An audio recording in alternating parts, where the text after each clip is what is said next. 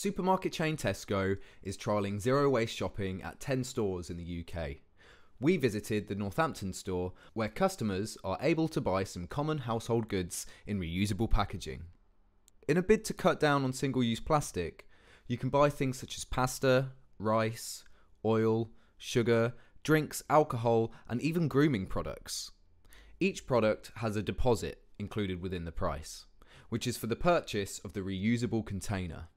Once you're finished with them, take the containers to the return point in store, where you can claim your refund for the deposit on an app.